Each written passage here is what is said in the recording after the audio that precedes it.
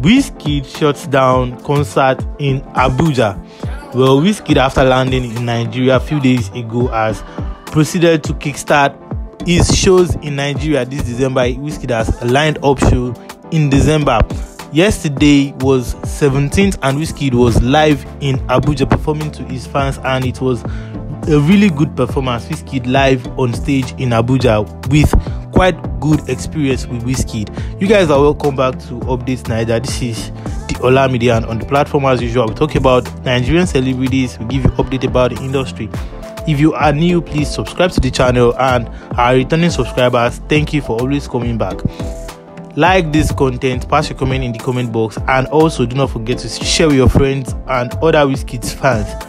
Now, singer Wizkid has arrived back in Nigeria for a few days ago and he has a lined up shows in Nigeria. Last night he was in Abuja and today proceeding to Warri to have a very you know taunting performance with his fans.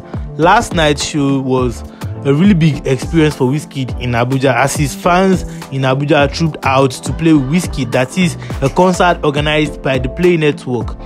Wizkid was the headlining artist and the performance was stunned and lit.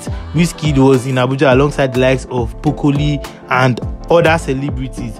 Wizkid being on stage last night had his fans trooping to the stage also trying to touch Wizkid, trying to have a nice time with Wizkid on stage also like trying to have an intimate contact with Wizkid, touch him, probably snap some pictures with him and at the same time Wizkid's performance was lit on stage. We could see that his fans were you know on the high side having fun and feeling Wizkid's vibe. After the show also Wizkid proceeded alongside other celebrities to the after party at a very big club in Abuja. Well the name of the big club was undisclosed but they had a real nice time at the club having an after party as you know like Nigerians do not carry last.